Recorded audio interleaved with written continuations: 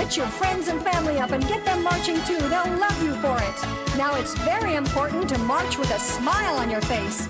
Otherwise, it looks like you're going to war.